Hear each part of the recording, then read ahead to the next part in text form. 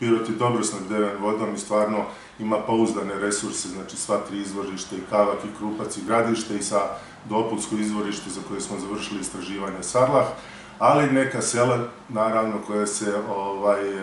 vodosnabdevaju iz kaptaža, koje kaptiraju neka manja vrela i izvore. Imali smo prošle godine dug recesioni period, znači od nekog maja i juna pa sve do decembra gotovo da nije bilo padavina i upravo se to odrazilo na problem ne, vodosnabdevanja nekih sela, što je ovde recimo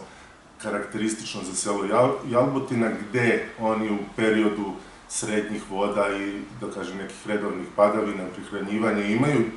određenu količinu ili dovoljno vode, ali već kada je recesioni period podmakne, znači bez neki period duži bez padavina, par meseci dolaze u taj problem da nemaju stabilno vodosnabdevanje, što će ovakvim istraživanjima i naravno kasnijim zahvatanjem podzemnih voda svakako biti rešeno.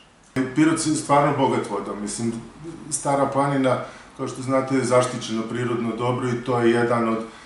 od da kažem, postulata isto ovog sporazuma da se utiče na zaštitu i očuvanje tih prirodnih resursa. Mislim, Stara planina ima i kvalitetne i podzemne i površinske vode i veoma čisti i to svakako mora biti zaštićeno i ostavljeno za budućnost. Naravno, ako bi krenuli da, da devastiramo Staru planinu, da se prave neki fabrike ili tako dalje, to bi se sve odrazilo na pirotsko izvorište po kvalitetu, što svakako